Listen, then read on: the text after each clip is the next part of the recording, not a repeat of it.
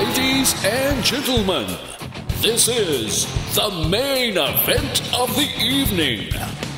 And now, the champion, fighting out of Los Angeles, California.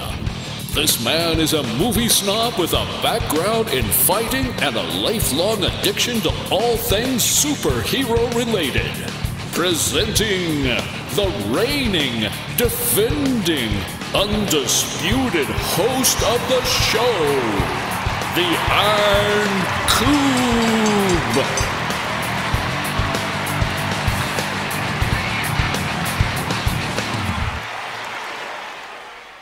All right, welcome to episode number 89 of the Iron Koob Fights movies. This is another bonus episode as we not so subtly force our way to episode 100 Avengers Endgame. Um, this week we watched How to Train Your Dragon 2 in anticipation for next week, which will be How to Train Your Dragon 3, uh, a full episode. Um, so, have any of you guys seen this movie before? I have watched seen it for this the a couple first time. times. I had seen it What? a couple times, yeah. So, so Emerson, your first time, and and Yes, it is. your second time, and my first time. Um, all right, let's start with Everett. What'd you think? Um, I'd give it a draw, um, purely because they didn't really up it from the first movie, in my opinion. Like, there's a lot of things wrong with it. It's a fun movie, and there are a lot of good things about it, but the villain doesn't really hold up well. The motivations are kind of like lackluster, and while they do do a couple things right, it doesn't really hold up for me. All right, Emerson. Uh, I give it a win. Once again, uh, I, I enjoyed it. It was, you know, still kind of fun and uh, interesting. I think they went for a little darker tone and they did some things that I wasn't necessarily expecting a movie of this caliber to do. Um, and I'm really looking forward to the third one. So it's a win for me. Still, huh? Um, for me, this is a loss. Um, yeah. I mean, I recognize others may appreciate it, so I guess it's a draw. But I, I here's my biggest problem with it, and we're just gonna talk spoilers here. Um, I don't care about any of the dragon stuff. I just, I genuinely don't The care. movie's about, called How to Train Your Dragon. I don't care about the peril of the dragons. He's like trapping them and making them like slaves or something. And I'm like, okay. I also don't care about the characters Astrid, uh, Hiccup, Stoick, um, the mom. Like, it seems like you don't care about the movie. well, because it's not that interesting. I like Toothless only because he reminds me of my dog, but they're going for that. Like, they're trying to make you be like, oh, look, it's like your dog. He acts like a dog. so it's like, okay, you got me on that one. But the rest of it, like, who cares about what Hiccup does? I really don't. I don't know. That's I I enjoy it just to see like what's gonna happen. Like his father dying, I didn't see that coming. I was like, oh shit. I saw it coming because we saw the trailers for the third one and he wasn't in it. So I knew I- something was I- going to I- happen. I didn't know like because keep in mind I had never I don't remember the trailers for this movie, and I I barely remember the trailer for the third movie. I do remember the trailer for this movie, and they gave away that it was his mom, and that's I didn't know that either. I knew that was coming. Yeah, they gave that away pretty fast. Um, I knew that was coming, so that's why. And I remember that she had like some hidden world or something. So when they talk about the third one, it's like the hidden world. I'm like, didn't they just do that? And his mom lived in it, and then uh, like the movie's not bad. The animation is still great. The humor is okay. Um, you know, it's more for kids, but they don't pander to kids that much. But um, I just like like I said, overall, like Everett said, the villain was okay. Um, when when the villain and his father started fighting, I was like, oh, so he's gonna kill his dad in hand to hand combat. That's gonna be cool. And then he doesn't, and then Toothless does it, and then it's like, well, I mean, that I guess that was kind of like a sad scene. But here's what I don't understand. If okay, if the alpha can can dominate Toothless, right? hmm And then Toothless somehow dominates it, like becomes an alpha too. I mean, if you beat the alpha, you become the alpha. But he didn't beat him yet. it looks like he was beating him, or he, He was just like fighting stood up him. to him, and Well, then yeah, and it he was like, he's an him, alpha. 'cause it- He he challenged shown- him for it. No, it's shown that the alpha needs to focus to like exert its will. So you know when you're getting shot in the face, your will begins to change. Like he probably had to focus, which meant the dragons could be freed, which meant the dragons could do whatever they wanted. But didn't they then become under the spell of Toothless? No, I took it as they were just doing what they chose to, which was siding with Toothless. Hmm. Okay. Um, uh, besides that, like the only thing that really has me excited for this third one is like the fact that he's going to be older and the movie started to go in like darker areas because the character is older and they're kind of trying to grow with their audience. So I'm hoping like maybe something like that they'll push it a little bit further, but as it stands right now, this is this is not better than like Toy Story or, or you know movies like that. Toy You Story is good. you got to admit though, he looks a lot better older than his like kind of like scrawny, clunky younger self. Yeah, yeah, and I hope he looks even better in the third one. I just they need to do something real. third. Like they they need to do something real. Like when when they were singing that song when the parents were dancing and they were singing the song, I'm like, this would be a lot of fun if I knew the song, but like I don't even like. Am I supposed to? I don't understand what I'm supposed to be doing.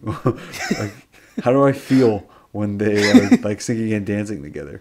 Because it, it went on for a really long time. It wasn't a good song. It was just like some Viking traditional thing. And it's like cool for good for them. Like, yeah.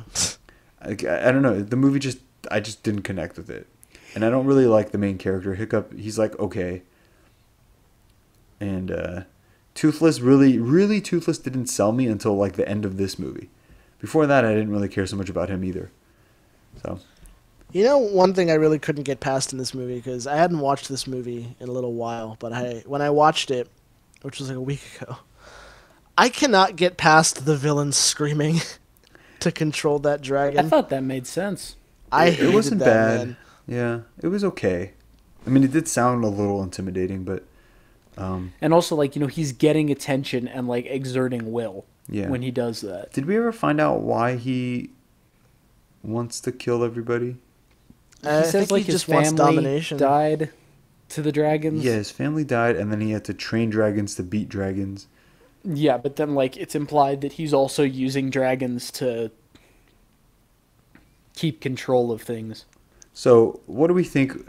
Because I wanted to do this this week so we could make predictions for number three. Hiccup's going to survive, right? Yeah, Yeah. probably. And he's going to marry Astrid, Yeah. and he's Yeah. going to be chief, and they're going to have a baby at the end. Right? yeah, He's already probably. chief. Right, but he's going to actually like be a chief and Okay. like, like grow in the role and all that. Um, and then this villain is going to fall off of something. Is that what, probably- like what do you guys think? Is he going to fall I off of something? completely agree. That always happens. um, I mean, you have no choice in this type of movie. Toothless they will be literally live on an island in the Atlantic. Toothless I will be captured, and then they're gonna be like, "Hey, let's get together and go save our friend." You know, it's I kind of surprising now that Yeah, you bring that up. this that is up. a kids movie. Like Yeah, I, I don't know what do you're better. expecting Yeah, from I it. Like expect I really Even don't. if it's a kids movie, like the fact that you brought up the fact that they always fall off of stuff, they have a movie with dragons in it. Why don't you have the dragons I don't think eat he someone? meant the villain would like fall off of something. I mean, he. I think he meant the villain would just show up. No, I, I know. I I'm saying he's literally gonna fall off of something. like that's how they die in every movie. Like, why don't you have a dragon eat him? They had the dragon eat someone in he falls. Shrek. Like like Shrek not was a kids movie, but it, it had a lot of like freshness to it. I mean, yeah, we were also younger and there weren't as many. Movies No, no, no. like That movie still holds up. That movie the holds first up. one. Well, I don't even remember the others, but yeah, the first. the first second one, one holds is just like, we, look how we used our budget from the first movie. And it's just no, like I don't know. I, can't, I think you're being. everywhere. I think you're being too like. I don't know what you're expecting. You know, this is a kids movie. Like, It's it's, just just fun for what it is. I, I don't but, know like but what see, you I'm want from a lot of people are put this movie on like a big pedestal. Like this is one of the greatest, uh, you know, animated trilogies ever, and I'm like, no, it's not. Yeah, see, I don't know. I just It's watch it. pretty I normal. enjoy it, and I have fun with it. Like I don't know, and I usually don't really watch a ton of like these type of movies. So for me, it's been fine. I feel like we've I been seeing a lot of kids movies lately. I mean, And you know Lego what doesn't make sense? And Like, it- and there were two decently graphic deaths in this movie. Why couldn't they make the villain's death a little more meaningful? How did he die again? Uh, yeah, you Stoick gets blasted in the face at Yeah. close range, and you see it happen. And then when the alphas are fighting, the other one that falls down just gets violently impaled. Like y- you don't see it directly, but you see the the, thing villain? like No, not the main villain. Oh, the main villain, like, The he's like riding the Bewilderbeast. thing, and it like falls into the Gets- ocean. So Yeah, oh yeah, the the alpha, the big, uh, the friendly alpha. Yeah, that was a The pretty two- brutal one. I like Yeah. that. the two when they're fighting. yeah, So wait, how does the main villain die? He I don't is know. On I the think he just when it falls into the ocean.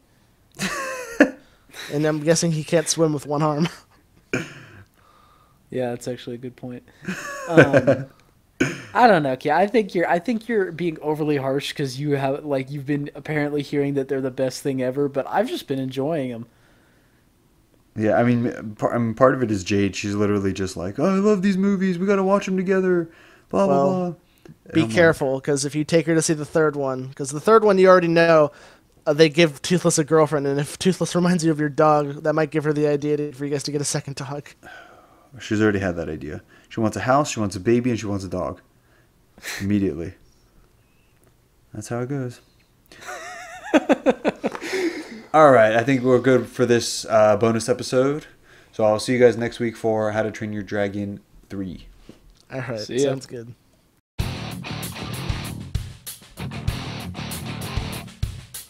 Thank you for listening to the Iron Koob Fights movies. If you enjoyed the show, please be sure to like, share, subscribe, and most importantly, review our podcast on iTunes so that we can spread the show around. To contact the show, you can reach us at theironkoob at gmail.com and on Instagram at the Iron Koob. Join us for another edition of the Iron Koob Fights movies.